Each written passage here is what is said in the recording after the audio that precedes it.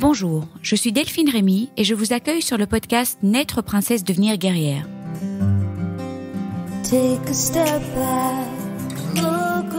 Le podcast qui parle de coups durs, de rebonds et de la maladie autrement.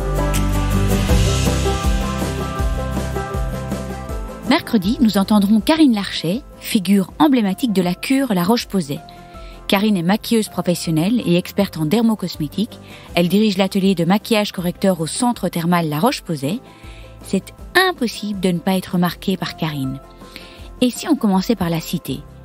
Il y a toujours quelque chose de joli dans votre visage et le maquillage doit vous aider à le révéler.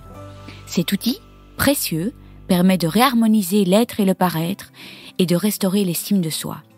Je la cite à nouveau pour donner le ton de cet épisode. Parler de sa peau n'est pas superficiel. Se sentir mal dans sa peau, c'est se sentir mal dans ses entrailles. C'est déjà vrai en temps normal, mais c'est d'autant plus vrai quand on est malade, en traitement ou après les traitements.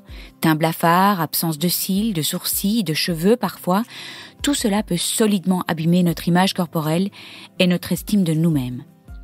Il nous semblait donc crucial, les équipes de La Roche-Posay et moi-même, d'aborder ce sujet capital de la beauté, de l'image corporelle et de l'estime de soi pendant et après les traitements. Karine nous partage avec beaucoup de générosité et de cœur son histoire, l'histoire de son papa et ce qui l'a amené à l'oncologie. C'est fou comme elle redonne du baume au cœur à toutes ces femmes et hommes aussi, car l'estime de soi n'est pas qu'une histoire féminine. Et ici, on ne parle pas que des gens ayant eu un cancer ou ayant un cancer, mais aussi de ceux souffrant de maladies chroniques, de maladies de la peau, de, des grands brûlés, des adolescents aux prises avec l'acné, tous des états qui peuvent pousser à l'isolement. Son récit est émouvant, son engagement profond, elle partage avec nous de nombreuses astuces, pratiques et vivantes, mais surtout une philosophie de vie, un autre regard sur nous-mêmes qui change tout.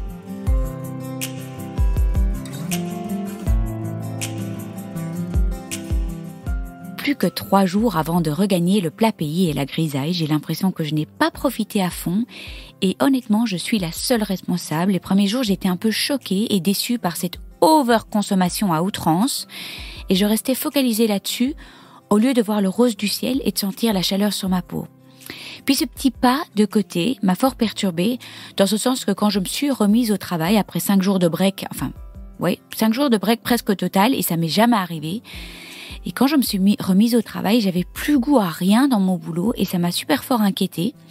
je me pose énormément de questions en ce moment, étant la tête dans le cancer 7 jours sur 7. J'ai déjeuné avec une copine anglaise qui a acheté une boîte de confiture, sauce, chili, chutney, salsa ici au Texas. Et je me disais que c'était trop chouette de bosser dans un domaine plus léger que la maladie. Et j'ai de plus en plus des petits signes comme ça où je me dis que j'aimerais avoir plus de légèreté dans ma vie, de sujets moins lourds, parce que je vis tout tellement pleinement. Je déjeune avec une autre amie française, de nouveau ici à Houston, qui fait des ventes pop-up de fringues, et je me disais aussi que c'était tellement plus léger. Je vais pas dire chouette, mais plus léger. Alors on se disait, et avec mon amie française et avec mon amie anglaise, que si j'habitais à Houston, ce serait vraiment super de bosser ensemble.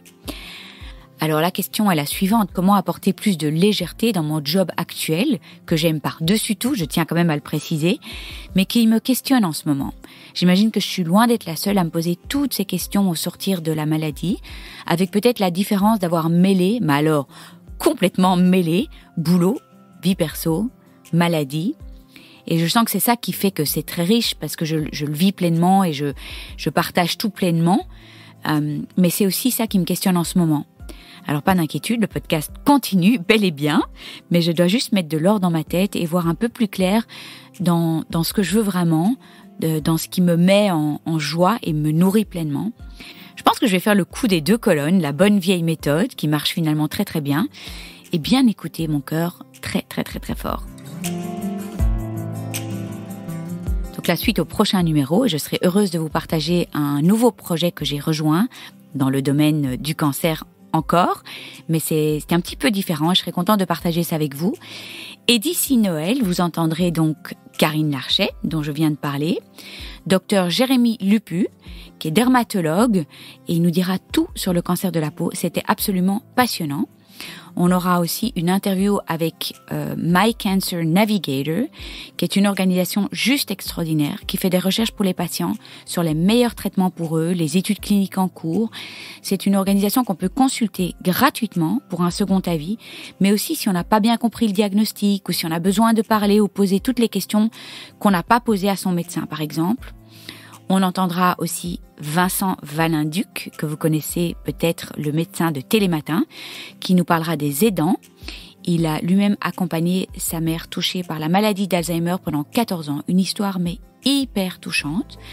On entendra Laetitia Mendes, que vous êtes nombreux à connaître, la Angelina Jolie française, qui a une histoire aussi hyper touchante. Et puis, la dernière invitée de l'année, avant Noël, ce sera Caroline Fruchot, qui est paraplégique suite à un accident de ski il y a 8 ans. Elle est hyper engagée et sa résilience me scotche à un point et je voulais absolument l'interviewer pour le podcast. Donc un beau programme en perspective jusqu'au 20 décembre et puis ensuite le podcast fermera ses portes pendant un mois, enfin pas tout à fait parce que ce sera le temps des rediffusions. Je vous embrasse très très fort et je vous retrouve mercredi sur toutes les plateformes d'écoute.